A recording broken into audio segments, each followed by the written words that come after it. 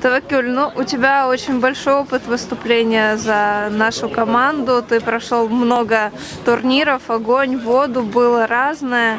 А скажи, вот на твой взгляд, что сейчас у команды не получается, что не хватает?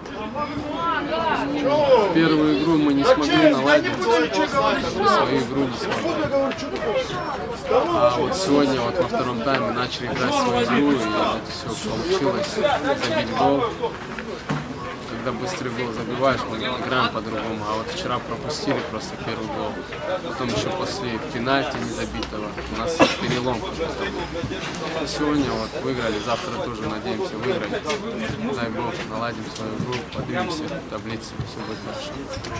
Перед игрой тренер всегда дает установку. Что говорил ну, сегодня? Ну, что, тренер всегда требует победу, играть свою игру, как, стабильно чтобы мы играли свою игру, несмотря на соперника. Ну, бывает как бы такие переломные моменты, вот незабитые пенальти, незабитые моменты.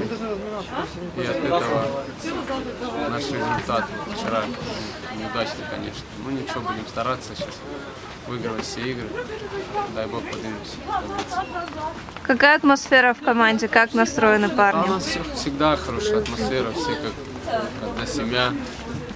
У нас такого нет, что мы проиграли все враги, у нас такого никогда не было и не будет. Мы, как бы сами знаете, всегда на высоком уровне, всегда много выигрываем.